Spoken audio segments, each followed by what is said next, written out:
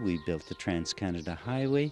We uh, built the railways. We did own the CNR at that time, and it was our national railway.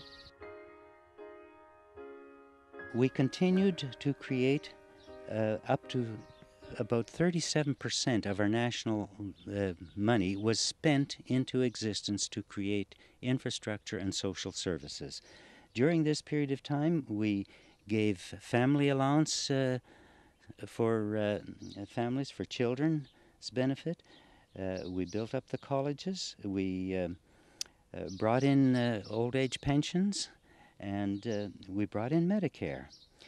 Now, that continued very nicely the government funding from the Bank of Canada and the Bank of Canada spending the money into existence. And at this point, the uh, international bankers, the, Bank for International Settlements and the, the uh, World Bank and the IMF, uh, started to put the squeeze on politicians and said, You are encroaching on the services that the banks give. You should not be printing the money that the people need. We should be. And immediately we started to go into debt. And these figures only go to 1987. However, uh, uh, the, the debt actually rose up to 600 billion, but in 1987 our national debt stood at 523.3 billion. Uh, this is the history of Canada. Now, from here there was there were no food banks in Canada that I knew of. There were no homeless people. Uh, lotteries were illegal. Uh, we didn't have to have runs to finance uh, medical care or uh, cancer mm, uh, research. Uh, Canada thrived through those years. We also set up Canada as a peacekeeping nation during those years. So we have a proud history from 1935 basically until about 1974. And I would like to point out that here in 1974, our national debt stood at a mere $18 billion.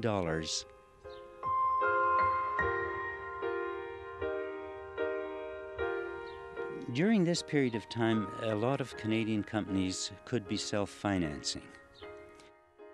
Once the international bankers uh, began to get control of uh, uh, policy through government, get control of government, uh, the international bankers, the private banks, encouraged uh, expansion of uh, Canadian owned industries. Oh, you, you can borrow from us. And the process of putting nations, putting corporations, putting companies, putting peoples into debt began. And from that point on, uh, the uh, encouragement was, well, borrow from us. No one seemed to realize that when they borrowed from a private entity like that, that was not real money, that was putting your own uh, um, assets at risk. Uh, and as a result, we lost the Canadian National Railways through this. And Canadian National Railways was just such an incredible railway system uh, it just crisscrossed uh, the country in more ways with spur lines than our highways are today. And they serviced the people. But that was got rid of. And uh, so uh, goods and services now are transported by truck rather than rail. And we do not own Canadian National Railways anymore. The only thing Canadian about it is that it's still called Canadian National Railways.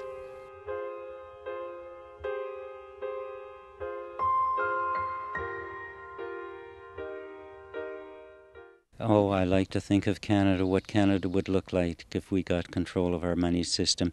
We would not sell any schools to finance education. We would build more schools. We would get smaller classes. We would build the best educational tools and install them into the schools so that people understood, our children grew up understanding what a rich land we are and understanding principally what qualities of life uh, they can have if they get the benefit of their labors through life.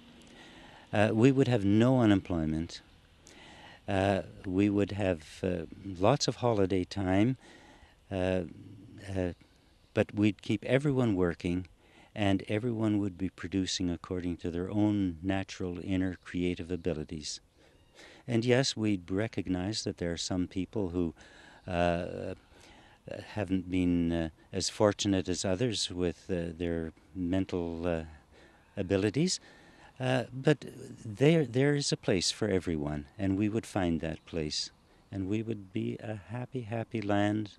We would not exploit territories for profit. Ethical financing is means that we are evolving to a higher moral standard, and that is a good thing. Dr. Muhammad Yunus is a perfect example with uh, uh, his bank, uh, which actually deals in million, billions of dollars now. Poverty is not caused by the poor people. Poverty is caused by the system we built. Poverty is caused by the policies that we pursue. Grameen Bank has made a significant contribution to reducing poverty in Bangladesh. Since Grameen's creation in the 1970s, life expectancy has risen more than 20 years. The fertility rate has been cut in half. It is estimated that each year, 200,000 Grameen members and their families escape poverty. That process has been used effectively. We don't need uh, that kind of thing in Canada because we already do create our own money through the Bank of Canada. We just don't make use of the Bank of Canada because uh, it's, it's not, uh, our governments don't control the banking and the creation of money. But alternate banking systems do exist and they are very effective where people can manage to hold it together. May it be